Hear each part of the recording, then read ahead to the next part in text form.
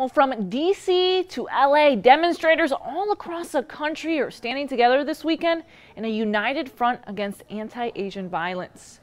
Two weeks after the deadly spa shootings in Atlanta.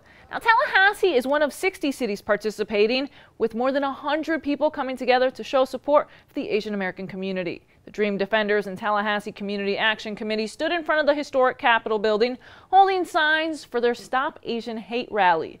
Organizer Daisy Sims says she feels encouraged about the turnout, but hopes the support doesn't go anywhere.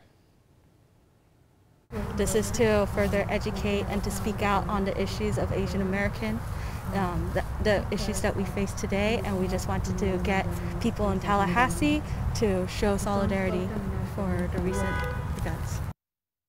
Now, in the past year, the U.S. has counted nearly 4,000 hate crimes against Asian Americans.